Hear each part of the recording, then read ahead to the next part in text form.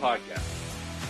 This is the only podcast that dives deep into post purchase marketing to help Amazon sellers increase sales, ranking, reviews, and profits. It's everything that happens after the initial sale that makes a difference. We call this the back end. Sean would back end indeed. Sean I had to jump out there in front of everybody. Back in like 2010, 2011, 2012, 2013 again, where Amazon's growing at 100% a year. I mean, that is the golden days. But guess what, Sean? Even though the golden days are gone on Amazon, it's still growing at 30% a year. But there are platforms like we're going to talk about today, still doubling in size every single year. I'm stoked to talk about it. Let's bring on our special guest, Mr. David Milstein, co founder of SellCord. David, let's talk about these platforms out there, specifically Walmart.com, that is growing at 100% a year. That's crazy. David, tell us about it. Insane. Insane. So much opportunity, kind of like you mentioned it, the golden years of the platform. I think one of the main differences between Amazon and Walmart is Walmart's going to be able to achieve the current status much much faster than Amazon did. Amazon was the pioneer in the space, really took a little bit of time to get there. Uh, people still kind of navigating the dot com marketplaces, shopping there. Walmart doesn't have to do that. Walmart doesn't have to sell anyone on this on this whole dot com process. They just have to be like, hey, we're also here. You got Amazon, you got us. We offer home delivery for your products. We offer pickup in store. Some things which Amazon just can't offer. You know, they got stores everywhere, 50 miles of every American. That's crazy. So it's really a great time for right now. Just jump into the marketplace, see that year over year growth. Just that's just 100% year over year growth for the platform as a whole you can imagine as a seller who's actually taking the time to optimize their listings.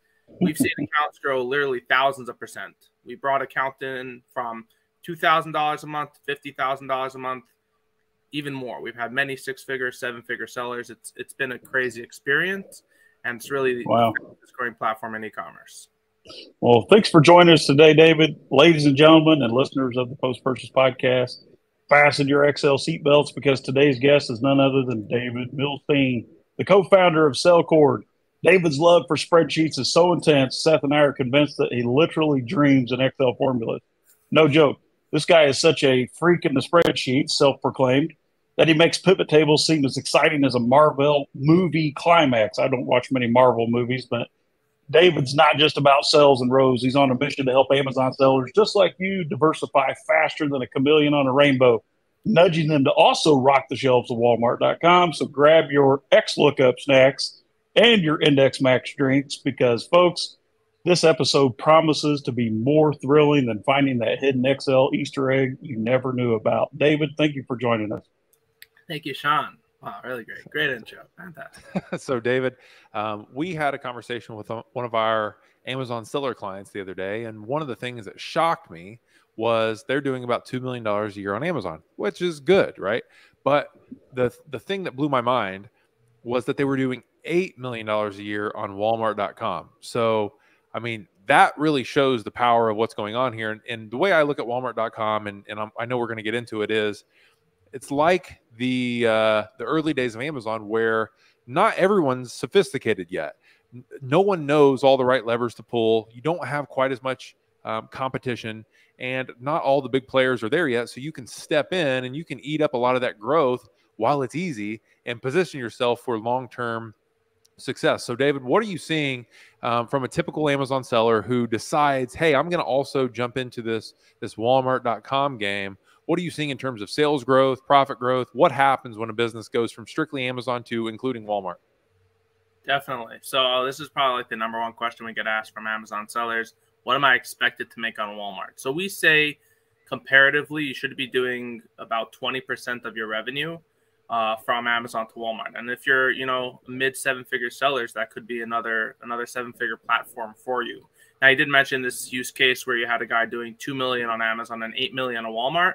That's not uncommon either. You know, you have on Amazon a lot of the really big products are really saturated. So you might even list your products over there and have a difficult time getting in, and maybe your more niche products sell well, but the search volume just isn't there. Versus on Walmart, you put your generic products up and you kill because that's what Walmart's looking for these days. And I'm sure we'll get into that a little bit more in the podcast, but there's so much opportunity for generic products that you might find a product that you might think will sell well. Maybe on your website it sells well, but Amazon's so hard to rank. but Walmart kills. So there's definitely strategies about like what types of products you want to list on on Walmart compared to that of Amazon. Typically, I would say share your catalog, but what what products do you want to focus on? What products do you want to push ads on? There's definitely a lot of a lot of information and different ways to approach that. But as a whole, Walmart is growing at a, such an insane rate that just listing your products, you will have at to begin probably about 10 to 20 percent of your Amazon sales, and only grow from there. well, David, I, am sorry. I apologize. I'm working on the road, so I had to uh, set up my virtual background here, like you. So you're not just young and handsome; you're also brilliant. So tell me, in simple terms, what do you think, or what do you see in your experience and, and your personal observation? What is the correlation for between Amazon product being successful and taking that to Walmart? Is that like 100% across the board, 80%? If I have a successful product on Amazon, what are the chances of that product also being successful on Walmart? Sure. So I definitely see it in the very high percentages. However, I'll give you some strategies about how to go about it. I believe there's a a evolution for how the marketplace works. In the beginning, the branded products tend to do the best. You know, you're selling your Dove soap that sells like fire because everyone knows the brand. Then it transitions to more of a generic private label. You know, you have some branded products, an Amazon brand. You know, you never heard of it before outside, but then you come on Amazon, it's now massive, even spreading outside of Amazon. And then you get into the more niche products, the premium products, the products that kind of have a little bit, oh, this is a unique thing and it's got this feature on it, that feature on it. I feel like that's the evolution of the marketplace. Like right now, launching on Amazon, it's harder to launch some of the more standard. You say a garlic press is impossible to launch. You know, you might have to have a specialized garlic press that's three in one. Got to talk to Aaron Cordova about that one. Exactly, exactly. There's there's so there's so many like different ways to go about launching these cool specialized products on Amazon versus Walmart. It's more about it's still in the beginning stages of the evolution. You know, you still have a lot of branded products. I find the branded branded accounts tend to do the largest in terms of sales today, but and then it's kind of right now in the transition stage into the more generic brand like standard private label products. But it's not yet in the niche premium products yet. So let's say you have somebody selling the specialized supplement that has a bunch of different, you know, like plants in it and herbs that you don't have in your standard, let's say melatonin that has all these features, but it's an extra 50% markup, you're going to have a harder time selling that on Walmart. So focus your strategies on the more generic products. But I will say this it's part of the evolution. It's in it. We've seen it with Amazon. We're going to see it with Walmart. We've been seeing it a little bit with Walmart, but the search volume just isn't quite there yet. So definitely focus on the big, the big name items, and even like the things that you would think on Amazon don't even have a chance because of how saturated it is, those products actually really do well on Walmart. But I would say every product on Amazon that succeeds will eventually succeed on Walmart. I would say it's really important to look at competitors. Take your main keyword, put it into Walmart. If you see the top listing has zero reviews, you're probably not going to have a lot of competition over there and really not much sales because clearly no one else put in the effort. Maybe you could, I, I say it's still worth it. Get in there, snag the top spot, so that in a year or two, when it does become a popular keyword, you were there first, and you don't have to fight with the competitors like people are doing on Amazon right now. But maybe don't spend or send too much inventory to Walmart fulfillment, or don't push too much ads because you might not see any return over there. Definitely focus on the products that you look it up, and I would say it's very difficult. This is actually pretty pretty cool pretty cool uh, uh, thing if you want to try out for Walmart. Look up a keyword give me five keywords that you can look it up and you scroll to the bottom and there's not a single listing that has zero reviews. I'm sure there's every keyword you scroll on Walmart has at least one listing on the front page that has zero reviews. Pretty cool. You know, it just shows you the opportunity that does exist on the platform. So, David, um, that kind of begs the question. I'm an Amazon seller selling products on Amazon, and I'm thinking to myself, what, you know, what should I do here? So, let me let me ask you, David, what is the first thing I should do when I'm approaching Amazon? Or if you want to flip it around, what are the handful of things that I should avoid doing to make the same mistakes that you're selling, seeing sellers make every day? Yeah, definitely. I mean, the the mistakes is they're rampant. You know, people people think of Walmart as like a secondary marketplace that doesn't really need the attention. And they're just like, yeah, I do well on Amazon. Of course, I'm going to do well on Walmart. Why shouldn't I do well? Like they just copy and paste their listings over, give zero effort, maybe do some ads, rely on seller fulfillment, so it's not even having the two day shipping badge. And they're like, oh, what's what the heck? At Walmart sucks. You know, I'm not seeing any sales. It's like, no, man, you got Your listing sucks. You gotta you gotta figure out your account first. get your listings optimized. Put in the effort. I find this is the number one mistake that Walmart sellers make is they don't put in the effort. And I can just tell you from experience, we've done tens of thousands of listings. When you put in the effort, you see the results 100%. Even without ads, we've seen so many listings that you just optimize it. You set up the copy the way Walmart wants you to do it. You you fill in your attributes. You know, people are leaving attributes off the table. It plays such an important role with algorithm. The algorithm on Amazon is very different than the algorithm on Walmart. There's some general things that they do match on, like how the ranking works is typically based on conversion rate, not necessarily impressions or clicks. So there are things that do share, but let's say the search the search process, you know what how the keywords are are, are structured in the algorithm. Amazon likes and they favor long long titles, you know, like 50 keywords just stuffed in the title and it's like impossible to read. Walmart hates okay. that. They give you a listing score. They remove points from you if your listing title is too long. They want it to be concise. So just pay attention. Walmart actually helps you with this. Walmart gives you what's called a listing quality score, where they give you information like this is how long your title should be, and they'll give you notes too long. You know, include the brand name, include this and that. Like they tell you what's missing from your title. It's all okay. obviously like AI, and they get have that information, but it's it's really useful for new sellers coming in if you just go and spend time looking through your listing scores and reading through their recommendations, that itself can help you drastically to succeed. So, David, that brings up another point. In your experience, uh, what is the the most common challenges besides uh, these listing differences that Amazon sellers face when they decide to expand to Walmart, and how can Sellcord help that? Definitely. So, because of Walmart kind of just recently caring, I would say. You know, Walmart's, I would say, definitely with only the past two years, really put an effort into their dot com side of things and marketplace. You know, they only, only in the past, let's say four or five years, did they even have a platform to launch your listings. Like you have to previously use third party apps that only integrated via API. It was only recently that they have a seller center where you could go in and do your thing. So, and even more so, only in the past couple of years did they roll out WFS, which is a competitor to FBA. What, uh, what am I getting at? Is that Walmart had a lot of black hat tactics that people were using, and there was there were a lot of these sellers. There was actually whole businesses around drop shipping from Amazon to Walmart. There were accounts that had millions of listings that would just scrape Amazon, find a product, let's say selling for twenty five dollars, and sell it on Walmart for thirty dollars, pocket the difference, and then mm-hmm. ship it and fulfill it directly from Amazon. Now Perfect. that's not a big deal, but what happens is these tools uploaded the listings to Walmart and when you come in now as your brand and you want to sell your listing, you often are faced with content rights where someone else listed your listing first. You have this garbage title, images in like a one by one pixel resolution, just looks like trash. Your description is completely wonky. You're just having a, a wrong attributes filled in because people were using these trash scrapers just to list that it was more of a of a of a quantity for them, a quality by far. We've seen cases where it says coming soon as the title, coming soon as the picture and like these are legitimate products that people are trying to sell for the brand. So you have to fight with Walmart to win that.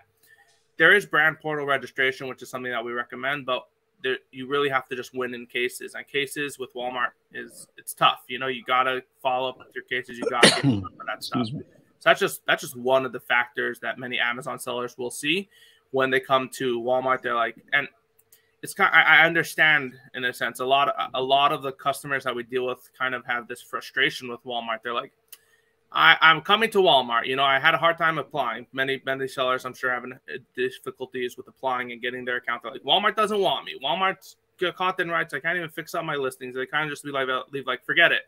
I'm not even going to give Walmart a chance. And that's kind of the mistake there. You know, you want to make sure that, yeah, maybe it's frustrating to go through some of these compliance issues to begin, but once you get in the flow of things and you see sales come in, I'm telling you that uh, that will be a much happier point in your Walmart journey. Amazing. So, David, what does I know you're the co-founder there, so you should know better than anybody. What does Sellcord actually do to make this make this all happen? Right. So I'll just give you a like a recap of like what what services do we offer. We like to be ahead of the game in everything Walmart related. We're full service Walmart agency, which is from listing optimization, which is taking your Amazon listings, writing brand new copy specific to Walmart, making sure you're categorized correctly. Categories is a really big role. I didn't speak about this yet. There's different categories that you need to audit. There's a category path product type, which determines which keywords you're able to rank for. If you're in the wrong one, your product literally can't rank properly. So we audit that. We fill in the correct attributes, even ones that are not recommended, just ones that we know will affect your discoverability. Making your listing perfect to Excel, to work well on Walmart. This includes, let's say, variation fixes, getting your content rights, working with any compliance issues if a listing is down. Once a listing is properly set up, we move into advertising. We have teams that have managed millions and millions in Walmart ad spend and know what they're doing in terms of how to properly build campaigns depending on the category and so much more that's just the core of what we do, which is optimization and management. We also offer a myriad of other services from rich media hosting, which is A plus content, which unlike Amazon is not native in the platform. You have to go through a third party service provider. We are one of those service providers. We host videos, EBC, comparison charts, FAQs, and more. We also offer some. This is amazing. Yeah, there's there's so much. I mean, like like I get sick of hearing about these tools, David, and we have like 400 partners in the space. And it seems like everybody and his brother's got a tool that just scrapes and auto posts. But I think what you're doing is an all encompassing full service service. So I can't wait to get the word out about that. Before we transition into the fun part of our program, would you care to share a, a case study, um, a recent case study or a win? You don't have to give any names or specific product brands, but tell me what you've done and how that's uh, how that's worked out for a client, and then we'll transition. Definitely. So we're working with a beauty brand already for a little over a year that they do most of their sales outside of actually Amazon and uh, Walmart. Most of their sales are coming from retail as well as a strong .com presence. Um, they've been on Amazon for a number of years already and have done really well over there. And they just start to get into the Walmart game. When they first joined us, they had so many listings that had content rights. They had people selling wrong UPCs. We worked on helping them remove all these fake sellers taking over their existing listings, and we brought them from literally doing no money a month to just crossing sixty thousand a month last month in sales. You know, we're we're clearly on a quick track to becoming a seven figure seller for them, and these are products that are doing. These are seven dollar products. These aren't even like 30 50 dollar products where that where that's only a few units this product this company sells thousands of units they have multiple units that are selling over a thousand a month which is really fantastical not really something you see so frequently on walmart but this is a name you might not be so familiar with, but they're just able to be there. They're number one ranked for some of the hottest keywords that I know in a couple of years, these products are going to be doing hundreds a day. You know, it's it's a much stronger marketplace in the future. So I can't wait for them. It's just been a really a really great time moving this brand into this marketplace. That's amazing, David. So you're a great entrepreneur. Obviously, you've been around the the game for a while. We always like to ask a couple fun questions at the end. The first one that I want to ask you, just because I'm curious, is what is your all-time favorite business book? Oh man, you're you're hitting me with the wrong question right there for me. I I how about business spreadsheet? as much as I seem like I do, I am really not a big reader. I know it's crazy. So many people in the space like, oh, you, can't how, read. how did you learn all this stuff? You either consumed it on a video, or you listened to it, or you read it. Uh, so, give us your favorite resources. Sure, sure, sure. Okay, so I'm saying as anyone who does anything with any sort of tech online, Stack Overflow is the place to be. You know, Okay. I have so many different spreadsheet questions I need to figure out things, working with uh, Google Scripts, just writing things, just to have things more automated and process wise. I just type it. You have to know how to ask your question properly. I think that's the yeah. biggest thing. If you know how to Google your question correctly, just put in the main keyword. Don't, don't get too that. technical with it. Don't put like, how do I do this? Just like put in, you know, VLOOKUP, array formula, and like they'll give you like that information over there. I've been using Google since you were in diapers, and I can tell you that I'm a hell of a good Googler but I can't write a, a chat GPT prompt to save my life.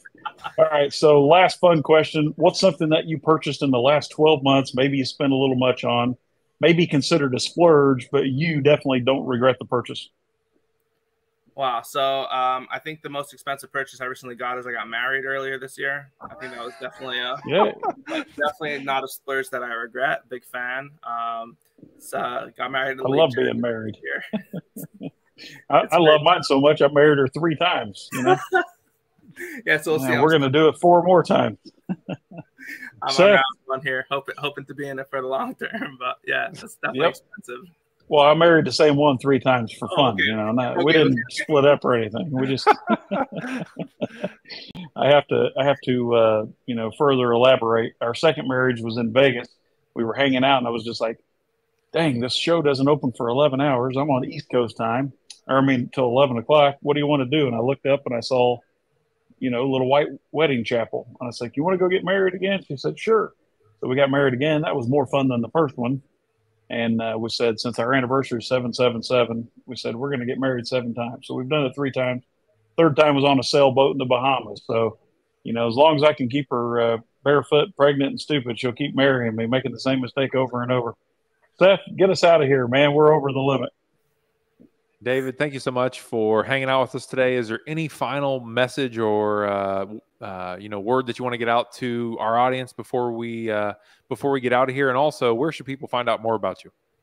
Definitely. So just don't miss out on the on the Walmart opportunity over here. You know, people missed out on Amazon and they're right now struggling with that. Reach out now. Hit us up, David at sellcord.co. Visit our website, sellcord.co. You can even go to sellcord.com. It'll redirect you to sellcord.co we recently got the domain, so that's been fun. Yeah, definitely. We have a myriad of tools. We got everything you need for Walmart.com on the one piece side, on the three piece side. Don't miss out. All right, David, and David's offering two hundred fifty dollars off your onboarding package when starting with at least five SKUs.